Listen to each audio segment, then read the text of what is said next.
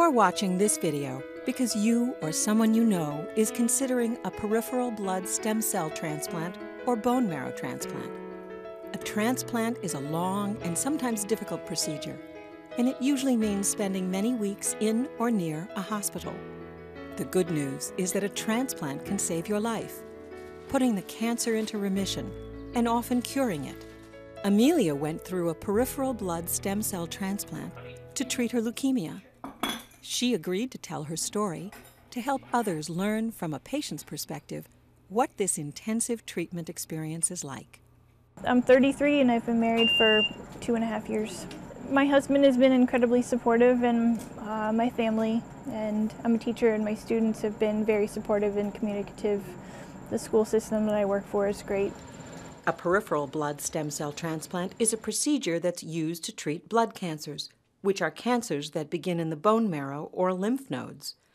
These include acute leukemia, chronic leukemia, multiple myeloma, non Hodgkin's lymphoma, and Hodgkin's disease.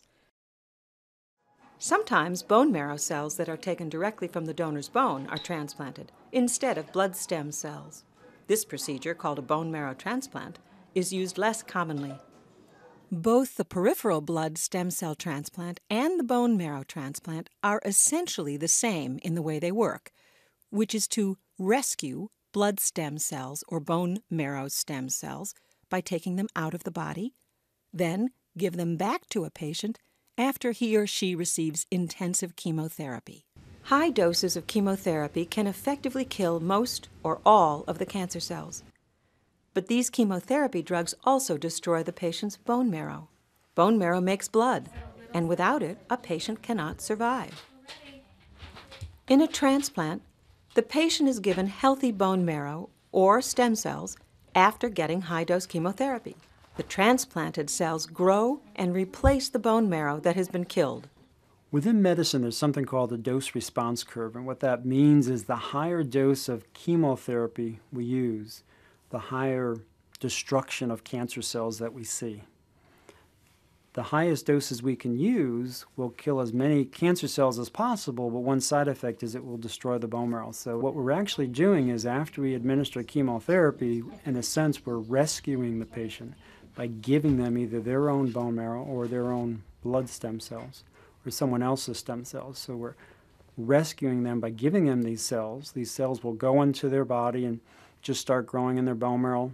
Whether blood stem cells or bone marrow cells are used, there are basically two types of transplants. One type is called autologous, where we use the patient's own cells to do the transplant.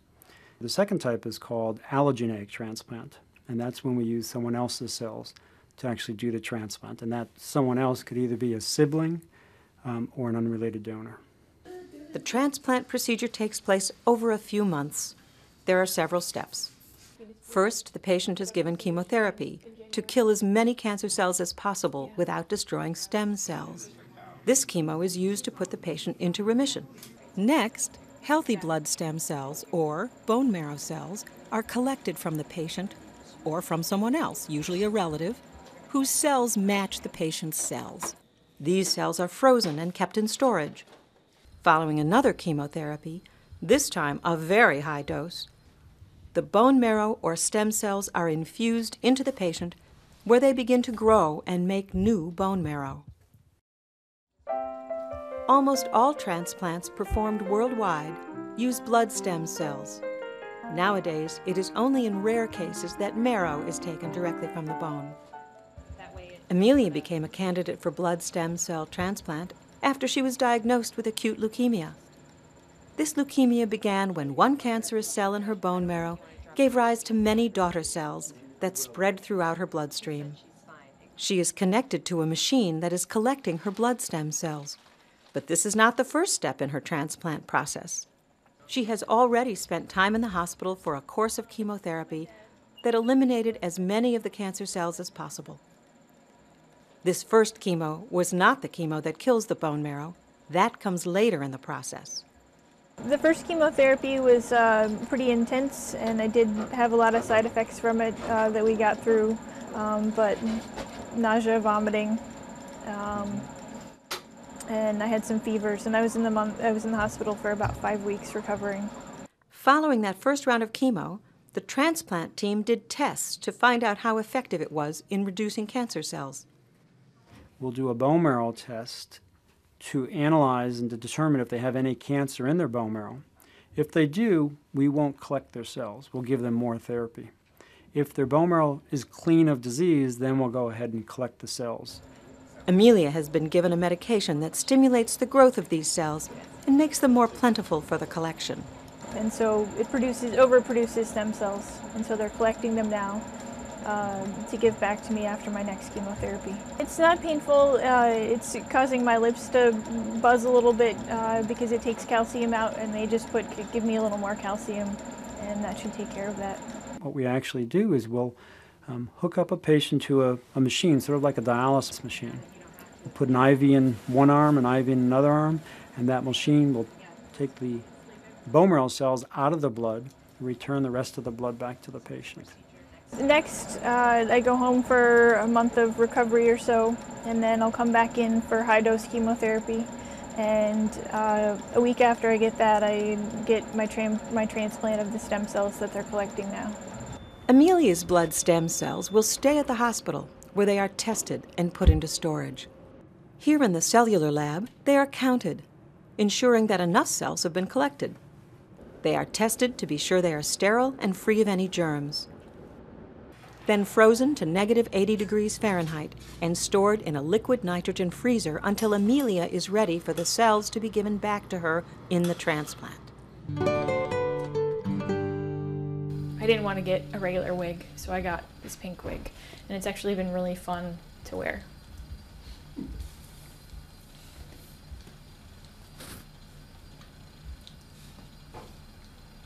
I don't know if I can do this without a mirror. Bang? Yeah? A month after collection, Amelia is back in the hospital to undergo an intensive chemotherapy treatment. This begins her second stay in the hospital. Her previous stay was for her first round of chemotherapy before the blood stem cells were collected. This time she may be here for up to six weeks. For this part of the transplant, many patients can spend nights at home if they live near the hospital or stay in a nearby hotel, coming in every day for therapy. Amelia has been advised to stay in the hospital through the chemotherapy and transplant. The inpatient course is like a roller coaster. Some days they'll feel great, other days they'll feel run down and tired. And what I tell the patient is just keep your eye on the light at the end of the tunnel. You know, you'll get out, and this is the number of days it's going to take, you'll get there, but it's going to be a difficult course till you get there. For the first week of her stay, Amelia is given an intensive chemotherapy that is so strong it will kill her bone marrow. What's happening now is conditioning regimen. My body is being assaulted by chemotherapy, um, pretty strong chemotherapy for five days. And this is preparing my body for transplant. And how I think of it is that technically I don't have cancer anymore. My leukemia cells are gone, and when they check with a bone marrow biopsy, kind of like do the dipstick check and is there any in there? They don't see it, but it only takes one rogue cell for this to all happen again. So this is really scrubbing out, scouring um, my bone marrow. I think that having a good attitude is really important, but there are there are things that you need to work out in your brain. Like I'm hooked up to chemotherapy drugs that are going to make me really sick, and when you know you're going to have to go to the hospital and have this done and work that out in your mind and not be stressed out about it. Ask the questions that you need to ask. Advocate for yourself. There are a lot of people on your team who will answer those questions, even if they seem silly. But if you're going to lose sleep over it, just call. I feel incredibly well supported uh, at home and at the hospital. And I've tried to just be positive as possible because I think that goes a long way.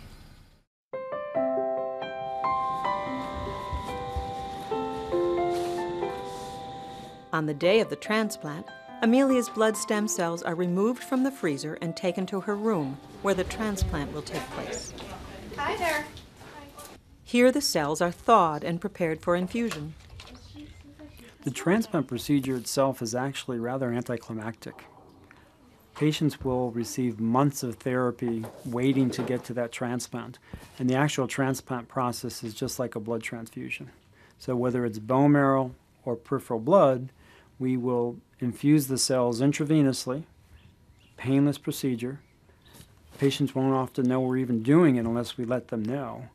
And those cells will go right into their body and gradually get back into their bone marrow. It takes about anywhere from 12 to 14 days for those cells to start growing.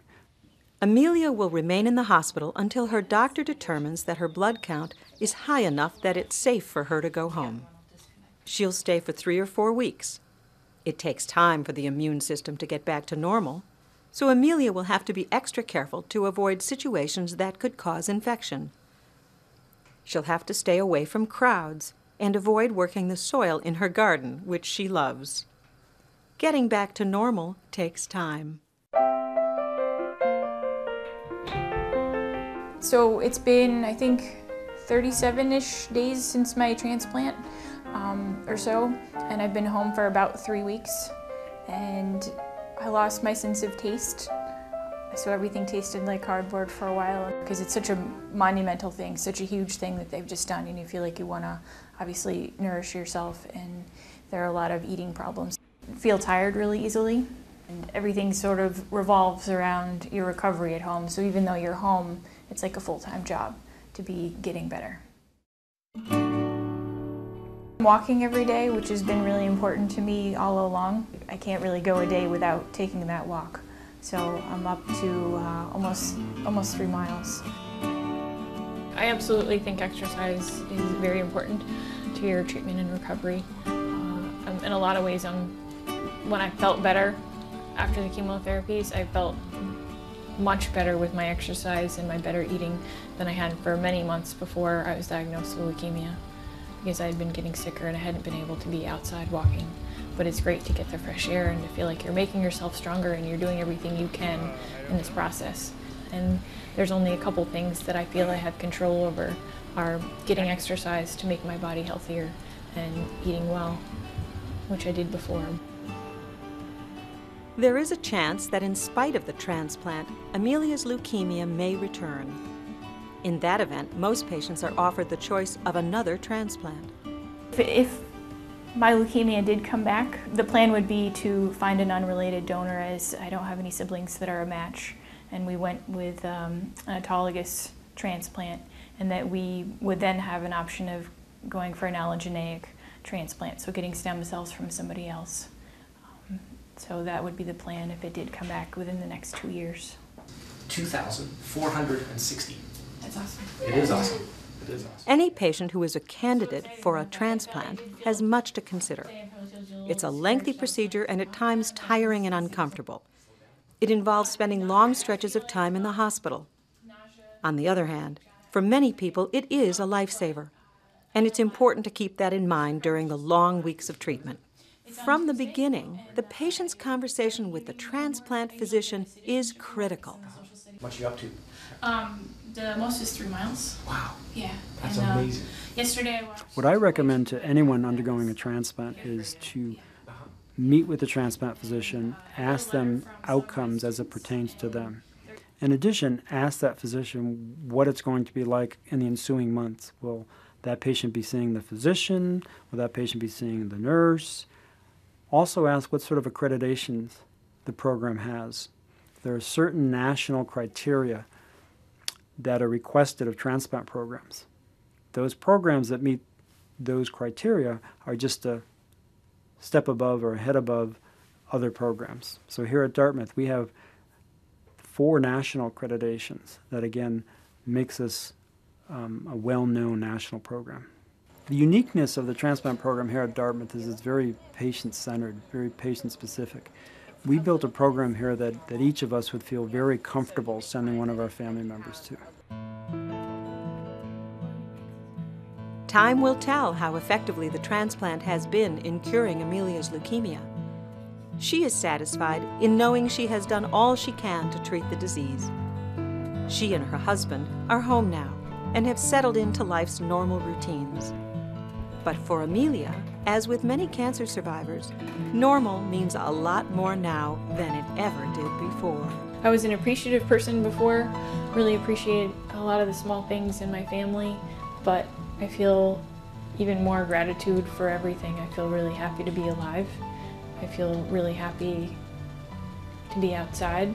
I feel happy for so many things to be well supported here at the hospital and by friends and family.